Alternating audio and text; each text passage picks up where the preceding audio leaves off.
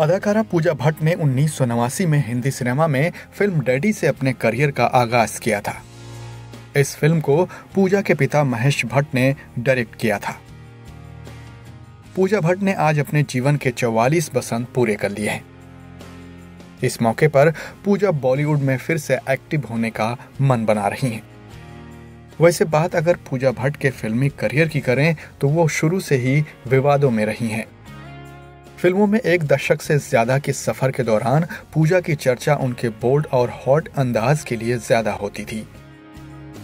पूजा ने अपने समय में कई ऐसे बोल्ड फ़ोटो शूट करवाए हैं, जिन्हें लेकर पूजा भट्ट की काफ़ी आलोचना भी हुई है।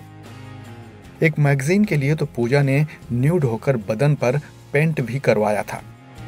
तो वहीं अपने पिता महेश भट्ट के साथ ज़बरदस्त किसिंग फोटोशूट भी। जो उस वक्त मैगजीन्स और अखबारों की सुर्खियों में रहा। महेश भट्ट के साथ बेटी के किसिंग फ़ोटोज़ को लेकर कुछ संगठनों ने तो विरोध भी किया था। और इसके बाद पूजा भट्ट बॉलीवुड के गलियारों में छा गई थी।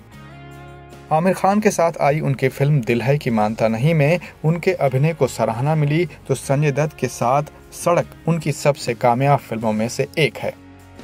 हालाँकि पूजा अब डायरेक्टर और प्रोड्यूसर भी बन चुकी हैं। उन्होंने तमन्ना के अलावा everybody says I am fine नाम से फ़िल्म भी बनाया है। पर पूजा भट्ट की चर्चा अक्सर उनके बोल्डनेस अवतार के लिए होती है। हिंदी सिनेमा के ऐसे ही किस्से जानने के लिए सब्सक्राइब कीजिए लहरें रेट्रो